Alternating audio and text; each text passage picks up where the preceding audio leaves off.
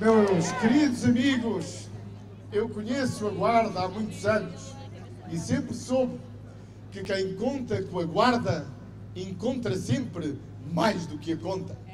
Quero agradecer-vos a todos a vossa presença e bem sei o que significa este mar de gente aqui na Guarda. Significa o apoio a um projeto político que se construiu em nome de Portugal. Significa o apoio a uma proposta política e a uma atitude.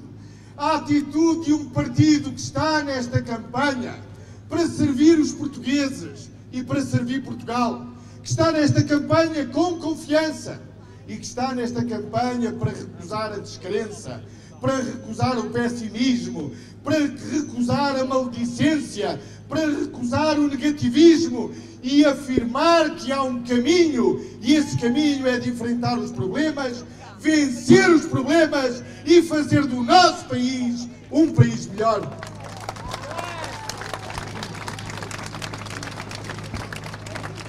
Eu posso vir aqui à Guarda quatro anos depois e olhar-vos a todos olhos nos olhos e pedir de novo a vossa confiança.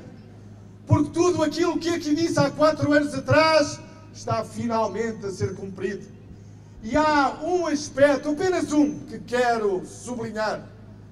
Eu iniciei a minha carreira política quando já se falava no Hospital da Guarda e nunca foi cumprida essa aspiração. Foi cumprida agora, em nome da justiça e em nome da solidariedade com a Guarda. Quero agradecer, portanto, a vossa presença. Eu sei o que significa a vossa presença e quero que saibam que saio daqui com mais energia e com mais força para fazer esta campanha. E quero agradecer a todos os que dirigem aqui a campanha, ao Presidente da Federação e a todos os dirigentes do Partido Socialista. Mas quero, sobretudo, agradecer ao Joaquim Valente o seu empenhamento nesta campanha e dizer-lhe que daqui a umas semanas cá estarei para apoiar a sua campanha para que continue a ser o Presidente da Câmara Municipal da Guarda. E quero também agradecer ao Francisco Assis a campanha que tem feito aqui na Guarda e dizer-vos a todos o seguinte: já o disse e repito, o Francisco Assis é um dos mais brilhantes, mais talentosos e mais capazes quadros políticos do PS e do país.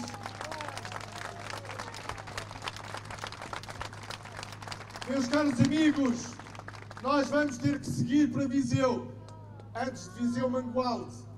Mas quero dizer-vos o seguinte: hoje está claro para todos os portugueses quem é o referencial de estabilidade. Qual é o partido que se impõe na vida política como um referencial de responsabilidade? Quem é o partido que é um referencial de confiança e de segurança? Quem é o partido que sempre nos momentos difíceis fez aquilo que era necessário em nome do futuro do nosso país? Esse partido é o PS. E quero dizer-vos a todos, em meu nome e todos aqueles que se candidatam, que cá estaremos para servir os portugueses, para servir Portugal e para estar à altura das vossas aspirações. E tudo faremos para servir o nosso país, para estar à altura da história do PS que sempre existiu para servir Portugal.